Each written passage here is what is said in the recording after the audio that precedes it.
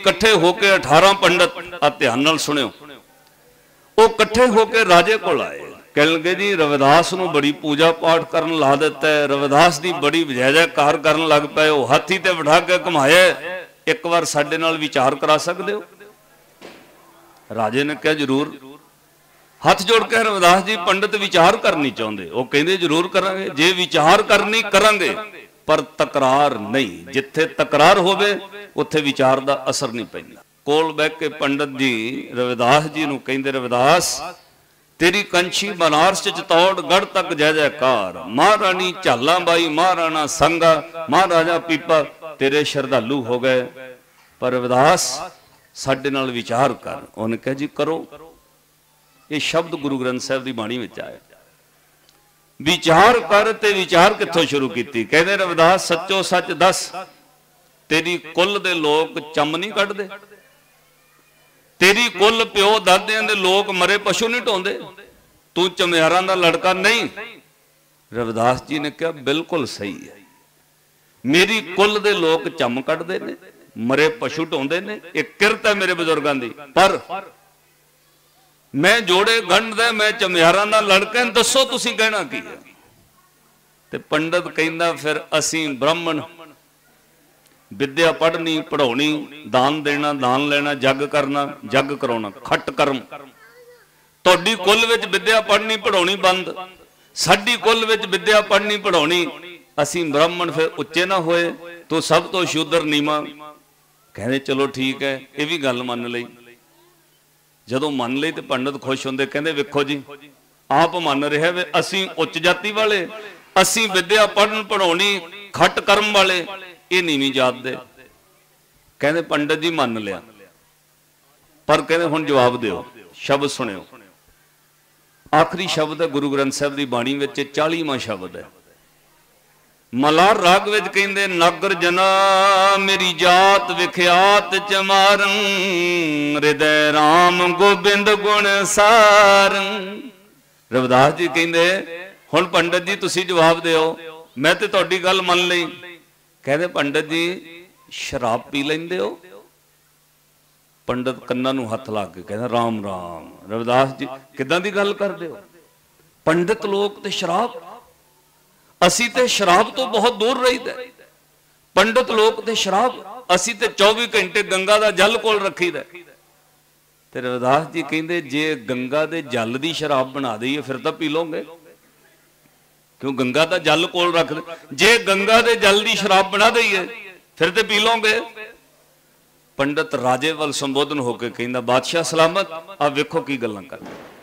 ਸ਼ਰਾਬ ਔਰ ਪੰਡਤ ਲੋਕ? ਕਹਿੰਦੇ, ਜੀ, ਜੇ ਗੰਗਾ ਦੇ ਜਲ ਦੀ ਬਣਾ ਦਈਏ, ਤਾਂ ਪੰਡਤ ਕਹਿੰਦਾ, ਸ਼ਰਾਬ ਤੇ ਸ਼ਰਾਬ ਹੀ ਹੈ। ਜੇ ਗੰਗਾ ਦੇ ਜਲ ਦੀ ਬਣਾ ਦੋ, ਤਬ ਵੀ ਨਹੀਂ ਪੀਤੇ ਹਮ। ਕਿਉਂਕਿ ਉਹ ਅਪਵਿੱਤਰ ਚੀਜ਼ ਹੈ। ਉਹ ਦਾਨਵਾਂ ਦੀ ਚੀਜ਼ ਹੈ। ਉਹ ਦੇਵਤਿਆਂ ਦੀ ਨਹੀਂ, ਆਪਣੇ ਆਪ ਨੂੰ ਪੰਡਤ ਦੇਵਤਾ ਸਿੱਧ ਕਰ ਰਿਹਾ। ਹੁਣ ਰਵਿਦਾਸ ਜੀ ਨੇ ਅਗਲੀ ਗੱਲ ਕਹੀ, ਇਹ ਪੂਰਾ ਸ਼ਬਦ ਸੁਣਿਓ। ਜਦੋਂ ਰਵਿਦਾਸ ਜੀ ਕਹਿੰਦੇ, ਨਾਗਰ ਜਨਾ ਮੇਰੀ ਜਾਤ ਵਿਖਿਆਤ ਚ ਮਾਰੰਗ ਰਿਧੈ RAM ਗੋਬਿੰਦ ਗੁਣ ਸਾਰੰਗ ਸ਼ਰਾਬ ਪੀ ਲਓਗੇ ਸੁਰਸਰੀ ਸਲਲ ਕ੍ਰਿਤ ਬਾਰੁਨੀ ਰੇ ਬਾਰੁਨੀ ਮਿਨੰ ਸ਼ਰਾਬ ਸੰਤ ਜਨ ਕਰਤ ਨਹੀਂ ਪਾਨੰ ਤਰ ਤਾਰ ਕਰ ਮਾਨੀਐ ਰੇ, ਜੈਸੇ ਕਾਗਰ ਕਰਤ ਵਿਚਾਰੰ ਪੰਡਤ ਜੀ ਸ਼ਰਾਬ ਨਹੀਂ ਪੀਂਦੇ, ਗੰਗਾ ਦੇ ਜਲ ਦੀ ਬਣੀ ਤਾਂ ਵੀ ਨਹੀਂ ਪੀਂਦੇ। ਕਿਉਂ? ਗੰਗਾ ਦਾ ਜਲ ਜਨਮ ਕਰਕੇ ਪਵਿੱਤਰ ਹੈ, ਕਰਮ ਕਰਕੇ ਸ਼ਰਾਬ ਬਣ ਜਾਏ, ਤੁਸੀਂ ਨਫ਼ਰਤ ਕਰਦੇ ਹੋ। ਕਹਿੰਦਾ ਬਿਲਕੁਲ ਸਹੀ ਹੈ। ਜਨਮ ਕਰਕੇ ਗੰਗਾ ਦਾ ਜਲ ਪਵਿੱਤਰ ਹੈ, ਕਰਮ ਕਰਕੇ ਸ਼ਰਾਬ ਬਣ ਜਾਏ, ਨਫ਼ਰਤ ਕਰਦੇ ਹੋ। ਕਹਿੰਦੇ ਬਿਲਕੁਲ ਕਰਦੇ ਆ ਰਵਿਦਾਸ ਜੀ ਕਹਿੰਦੇ, ਤਾੜੀ ਦੇ ਦਰਖਤ ਨੂੰ ਕੀ ਕਹਿੰਦੇ ਹੋ? ਉਹ ਕਹਿੰਦਾ, ਮਹਾ ਅਪਵਿੱਤਰ, ਪੰਡਤ ਬੋਲੇ ਮਹਾ ਅਪਵਿੱਤਰ, ਕਿਉਂਕਿ ਤਾੜ ਦੇ ਦਰਖਤ ਤੋਂ ਸ਼ਰਾਬ ਨਿਕਲਦੀ ਹੈ। ਕਦੇ ਤੁਸੀਂ ਦੇਖੋ ਟੈਲੀਵਿਜ਼ਨ ਤੇ ਜਾਂ ਫਿਰ ਅੱਗੇ ਯੂਪੀ ਦੇ ਨਾਲ ਹੀ ਹੱਦ ਪੈਂਦੀ ਹੈ, ਬਿਹਾਰ ਦੀ। ਉਧਰਲੇ ਪਾਸੇ ਇੱਕ ਦਰਖਤ ਨੇ ਤਾੜੀ ਦੇ, ਉਹਨੂੰ ਜਿਹੜਾ ਫਲ ਲੱਗਦਾ, ਉਹ ਚ ਛੇਕ ਕੱਢ ਕੇ ਘੜਾ ਬੰਨ ਦਿੰਦੇ ਨੇ। ਜਿਹੜਾ ਬੂੰਦ ਬੂੰਦ ਉਹਦੇ ਵਿੱਚੋਂ ਰਸਾ ਨਿਕਲਦਾ ਸਭ ਤੋਂ ਤੇਜ਼ ਮੋਗਾ, ਸ਼ਰਾਬ ਮੰਨੀ ਜਾਂਦੀ ਹੈ। ਬੜਾ ਭਿਆਨਕ ਨਸ਼ਾ ਹੈ। ਉਹ ਵੇਚਦੇ ਨੇ ਲੋਕ। ਕਹਿੰਦੇ ਤਾੜ ਦਾ ਦਰਖਤ ਅਪਵਿੱਤਰ ਉਹਦੇ ਚੋਂ ਨਸ਼ਾ, ਸ਼ਰਾਬ ਨਿਕਲਦੀ ਹੈ। ਤੇ ਰਵਿਦਾਸ ਜੀ ਕਹਿੰਦੇ ਜੇ ਤਾੜੀ ਦਾ ਦਰਖਤ ਸੁਕਾ ਕੇ ਕਾਗਜ਼ ਬਣਾ ਲਈਏ, ਉਹਦੇ ਉੱਤੇ ਭਗਵਤ ਗੀਤਾ ਲਿਖਦੇ ਹੋ, ਸਭ ਤੋਂ ਮਹਿੰਗਾ ਕਾਗਜ਼ ਪਤਾ ਕਿਹੜਾ ਵਿਕਦਾ ਤਾੜੀ ਦੇ ਦਰਖਤ ਦਾ। ਜਿੰਨੇ ਧਾਰਮਿਕ ਗ੍ਰੰਥ ਲਿਖੇ ਜਾਂਦੇ ਨੇ ਤਾੜ ਦੇ ਦਰਖਤ ਦੇ ਬੂਰ ਤੇ। ਉਹ ਤੋਂ ਕਾਗਜ਼ ਬਣਾ ਕੇ, ਉਹ ਸਭ ਤੋਂ ਕੀਮਤੀ ਕਾਗਜ਼ ਵਿਕਦਾ ਹੈ। ਕਹਿੰਦੇ ਜੇ ਤਾੜੀ ਦੇ ਦਰਖਤ ਦਾ ਬਣਾ ਲਈਏ ਕਾਗਜ਼, ਉਹਦੇ ਉੱਤੇ ਲਿਖੀ ਹੋਵੇ ਭਾਗਵਤ ਗੀਤਾ। ਜਿਹੜੀ ਭਾਗਵਤ ਗੀਤਾ ਪੰਡਤ ਜੀ ਤੁਸੀਂ ਚੁੱਕੀ ਫਿਰਦੇ ਹੋ, ਇਹ ਤਾੜੀ ਦੇ ਦਰਖਤ ਦੇ ਕਾਗਜ਼ਾਂ ਤੇ ਲਿਖੀ ਹੈ, ਇਹਨੂੰ ਮੱਥਾ ਟੇਕਦੇ ਹੋ? ਕਹਿੰਦੇ ਹਾਂ, ਉਹ ਤਾਂ ਮੱਥਾ ਟੇਕੀਦਾ ਹੈ। ਕਹਿੰਦੇ ਕਿਉਂ? ਕਹਿੰਦੇ ਹੁਣ ਉਹ ਤਾੜੀ ਥੋੜੀ ਰਹੀ ਹੈ।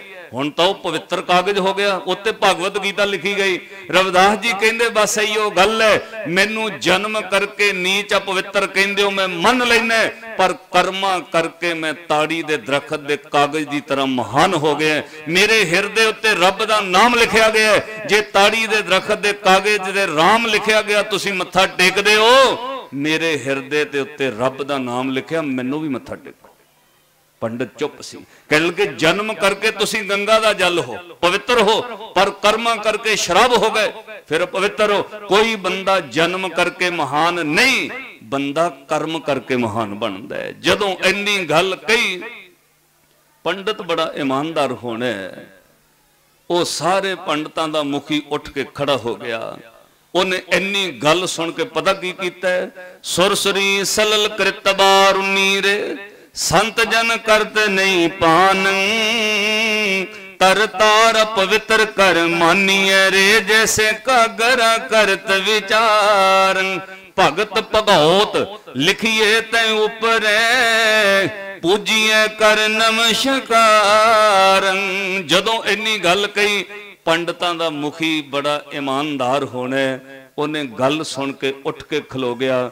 ਭਰੀ ਪੰਡਤਾਂ ਦੀ ਤੇ ਰਾਜੇ ਦੀ ਸਭਾ ਵਿੱਚ ਪੰਡਤ ਨੇ ਹੱਥ ਜੋੜੇ, ਲੰਮਿਆਂ ਪੈ ਕੇ ਡੰਡੌਤ ਕਰਕੇ ਰਵਿਦਾਸ ਨੂੰ ਮੱਥਾ ਟੇਕ ਕੇ ਕਿਹਾ, ਤੂੰ ਸੱਚ ਕਹਿੰਦਾ ਜਨਮ ਕਰਕੇ ਕੋਈ ਬੰਦਾ ਮਹਾਨ ਨਹੀਂ, ਕਰਮਾਂ ਕਰਕੇ ਮਹਾਨ ਹੈ, ਕਈ ਬੰਦੇ ਜਨਮ ਕਰਕੇ ਕੁੱਲ ਉੱਚੀ ਹੈ, ਪਰ ਕਰਮ ਐਸੇ ਮਾੜੇ ਕਰ ਦਿੰਦੇ ਨੇ, ਲੋਕਾਂ ਨੂੰ ਕਹਿਣਾ ਪੈਂਦਾ ਸਾਡਾ ਮੁੰਡਾ ਨਹੀਂ ਹੈ।